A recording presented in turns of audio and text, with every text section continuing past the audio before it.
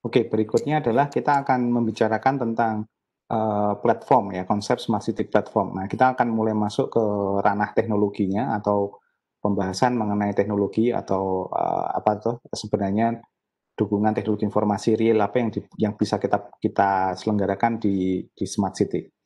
Nah, saya akan memulai dengan uh, gambar ini. Ini saya mengambil dari punyanya Smart City Inisiatifnya Indonesia. Jadi konsep smart city platform itu sebenarnya simple. Jadi ada kelompok yang tadi berguna untuk melakukan sensing. Bentuknya bisa macam-macam, bisa people, orangnya itu sendiri. Jadi orang itu bisa berlaku seperti living sensor kalau bahasa saya. Kita bisa melaporkan apa pun yang kita lihat, kita rasakan, kita kita cium dan seterusnya.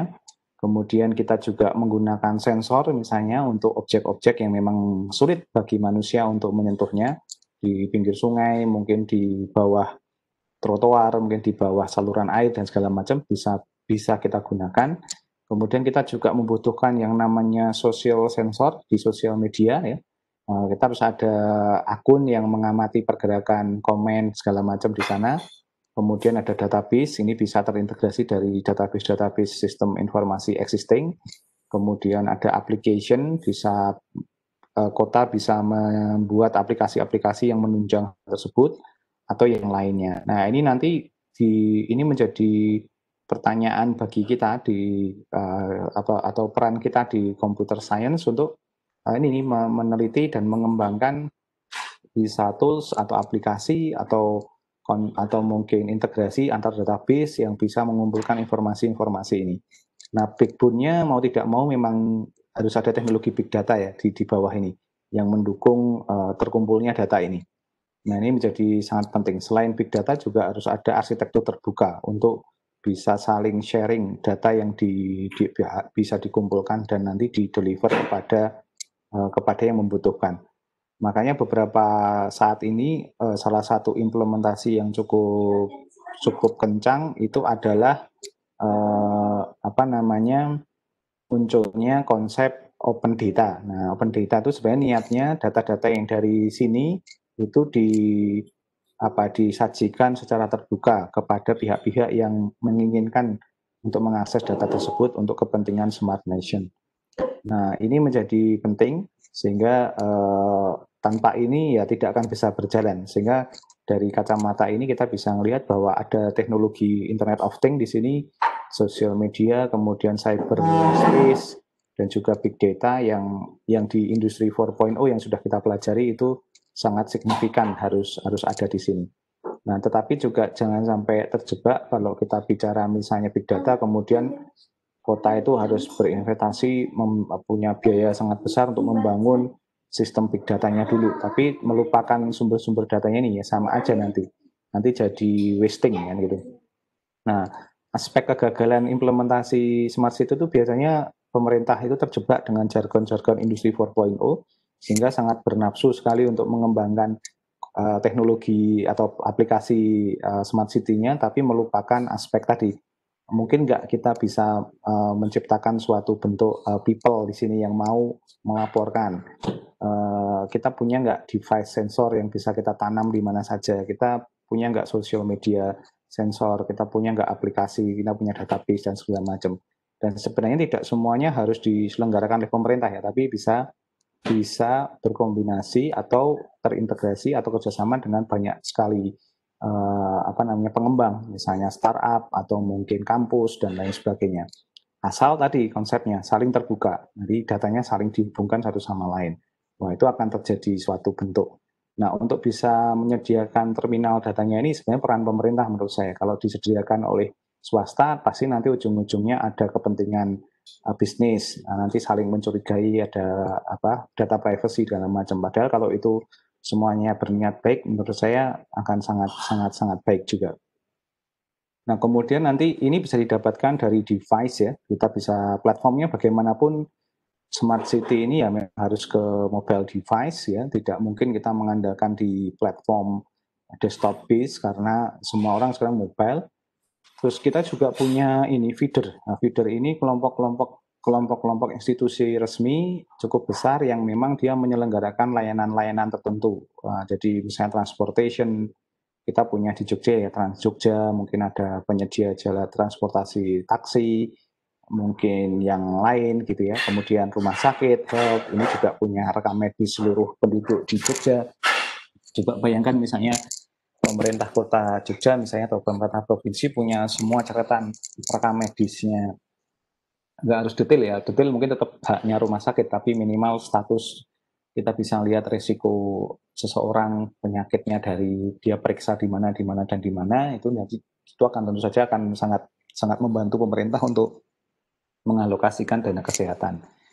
Building energy ini juga menjadi menjadi feedernya kemudian education kayak kampus. Kampus juga harusnya terbuka dengan pemerintah. Jadi misalnya uh, kita bisa mensuplai data data mahasiswanya uh, eh, UGM itu berapa banyak dari daerah mana, kemudian potensi ekonominya seperti apa, itu kan bisa membuat proyeksi yang sangat sangat menarik ya.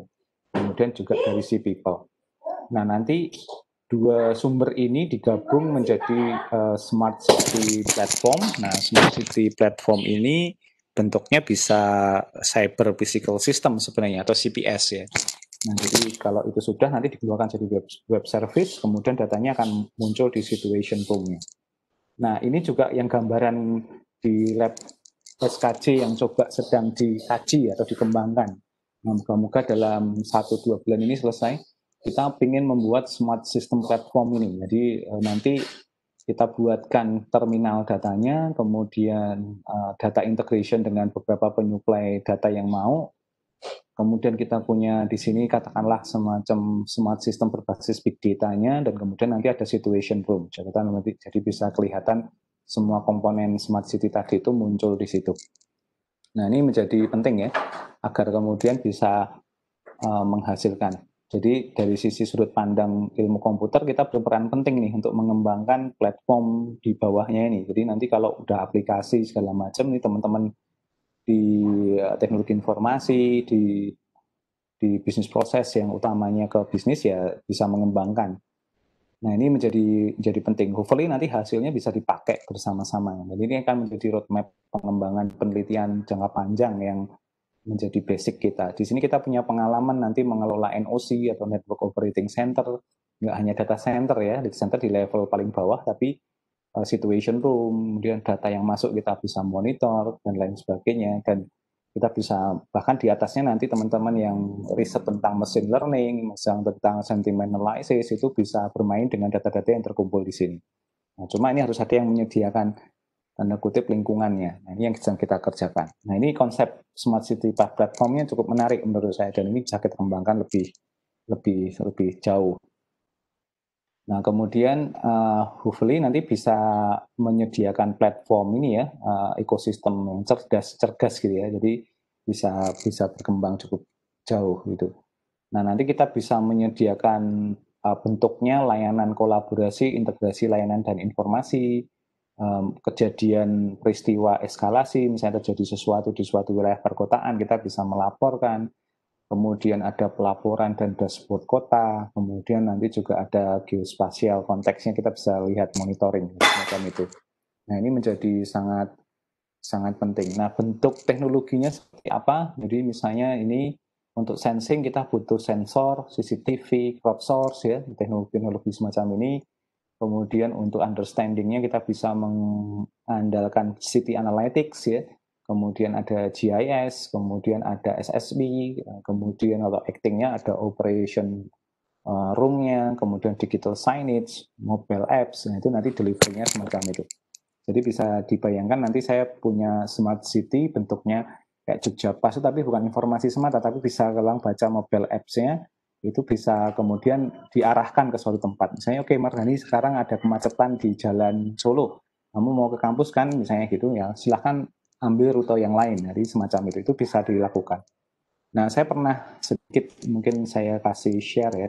Dulu saya pernah terlibat ketika uh, masih di Wina itu uh, terlibat dalam proyek pengembangan di kota dengan cara crowd crowd crowd development. Jadi ini menjadi menarik karena waktu itu kita bisa punya semacam ini. Semoga berjalan cukup baik. Nah ini contohnya adalah tadi kita mereka ada tim yang dari beberapa university itu memasang sensor-sensor terus kemudian uh, waktu itu saya diminta untuk uh, support di sisi uh, situation roomnya. Nah itu uh, akhirnya kita keluarkan menjadi beberapa bentuk. Sorry ini agak lama kenapa? kita coba lihat dari sisi ini dulu, gambarnya dulu. Nah, ini sebagai contoh aja ya, ini gambarnya. Nanti teman-teman bisa lihat uh, lebih apa namanya lebih detail. Nah, jadi silahkan nanti bisa dilihat di London City Dashboard. Ini di London City Dashboard ini kita bisa kita ada beberapa proyek dengan beberapa kota di Eropa itu mencoba me, uh, menampilkan uh, tadi sensing sama understanding pada konteks kekinian waktu saat itu real time begitu ya.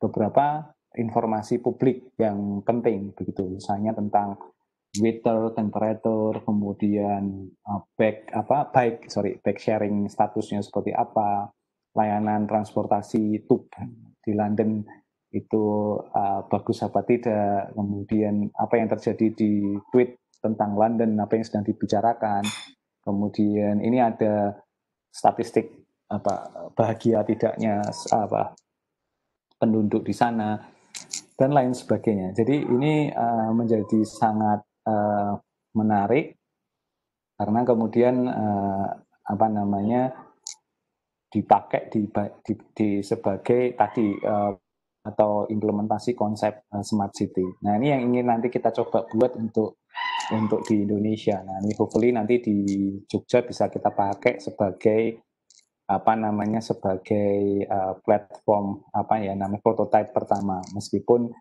uh, kita akan coba secara independen atau mandiri uh, dengan data yang kita koleksi sendiri. Jadi tidak tidak mengandalkan data pemerintah.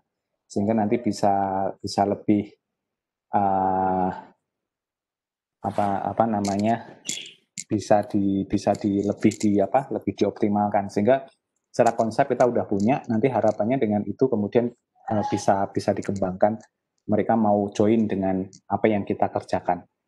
Nah jadi uh, nanti kemudian uh, kita coba uh, kita coba apa namanya bisa implementasi. Jadi ini sangat sangat penting. Nanti um, mungkin nanti silahkan uh, dilihat atau mungkin kalau dari teman-teman atau dari kalian sudah ada yang uh, punya ketertarikan nanti bisa bergabung. Tidak harus untuk TA ya, untuk untuk seminar atau proposal, tapi bisa digunakan untuk menggali pengalaman.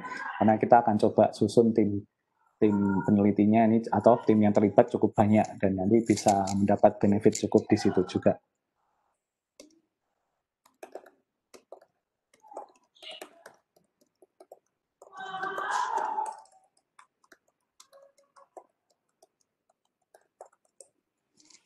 Oke. Okay. Nah ini sebagai salah satu contoh, tapi unfortunately ini kenapa lama sekali ya? Mungkin internet di tempat saya agak sedikit kurang bersahabat namanya. Tapi nanti silahkan bisa dilihat ya di situ. Nanti ada beberapa pilihan kota yang lain yang di project waktu itu saya propose untuk di Indonesia tapi itu belum di approve karena sumber datanya nggak ada gitu. Nah, itu salah satu problematikanya. Oke, okay. itu poin-poin uh, poin penting. Uh, Oke, okay. silakan jika ada beberapa pertanyaan bisa disampaikan. Saya akan coba lanjut sebentar.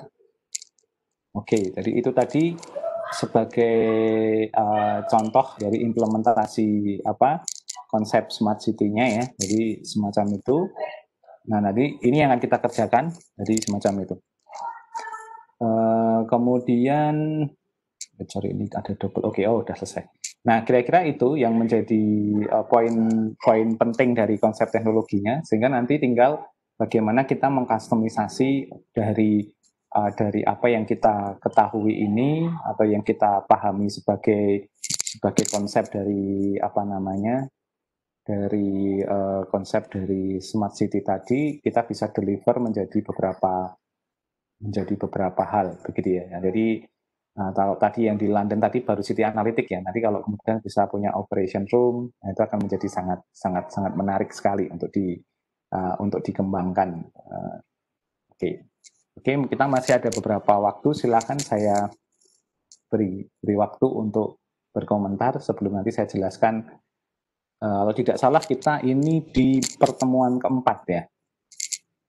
Jadi nanti uh, karena kita sudah harus persiapan untuk apa namanya nanti untuk uh, kita cuma punya lima pertemuan sebelum UTS, kemudian nanti dilanjutkan dengan uh, UTS.